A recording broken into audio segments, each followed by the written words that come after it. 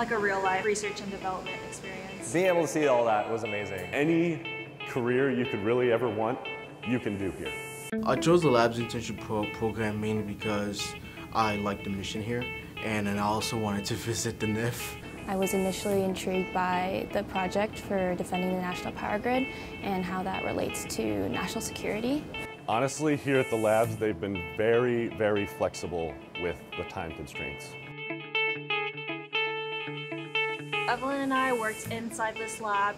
We got to use basically all the instruments that are in here and you know we just got to experiment. It's very hands-on and like a real life re research and development experience. I found I was able to thoroughly apply what I had actually learned in my academy classes uh, in the testing that I conducted here. One thing I really admire about this lab is the is the ability for my advisor to kind of, kind of direct myself within what how I want to conduct the project, how I want to do the research.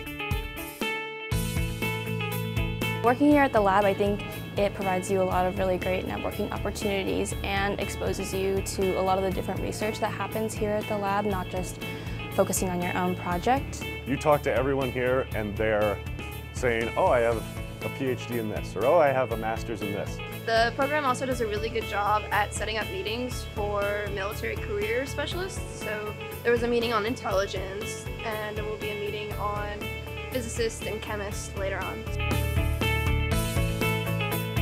You always hear about the stockpile and how the DOE supports that mission, but you also you oftentimes don't realize the extent of that stockpile protection. So like what we're doing in this lab here is a major part of that. Once I got here and started touring the different facilities, um, I was I really able to understand how all the pieces fit together. The opportunity to figure out what the labs is about and what the NNSA um, uh, ecosystem is, that's a whole new world to me and I'm, I'm really, really glad that I had a chance to learn that. It's really valuable having such a uh, lively environment because everyone's working on different things, but everyone's thinking constantly how to solve these problems.